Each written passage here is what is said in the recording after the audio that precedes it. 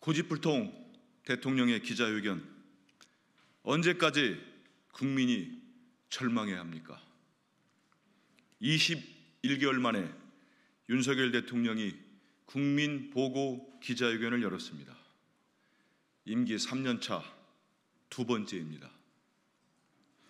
4.10 총선을 통해 국정 기조를 바꾸라는 국민의 절박한 외침 이후의 기자회견입니다.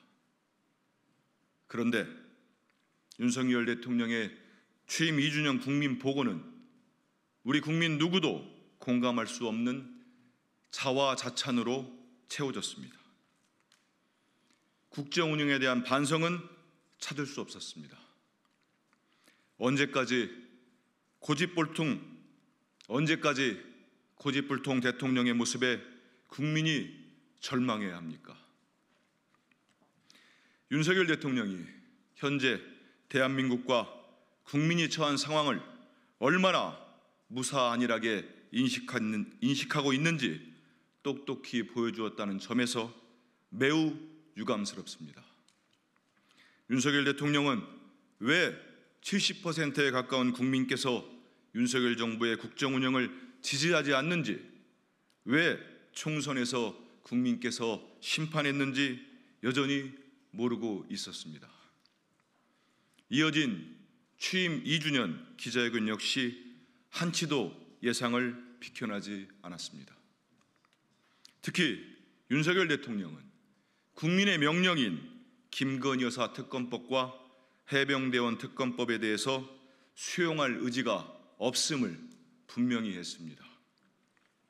심지어 김건희 여사 특검법에 대해서는 지난 정부에서 수사를 할 만큼 해놓고 또 하자는 것은 정치 공세라며 김건희 여사가 불가침의 성역임을 다시 한번 확인했습니다.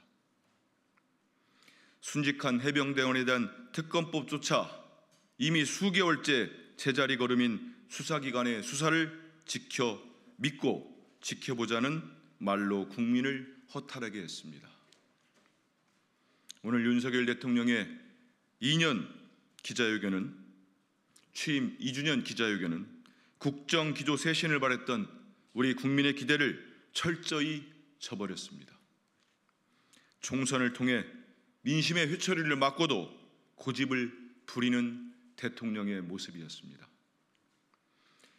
우리 더불어민주당은 국민의 명령대로 국민을 외면한 윤석열 정부를 견제하고 바로잡아가는 일에 진력을 다하겠습니다.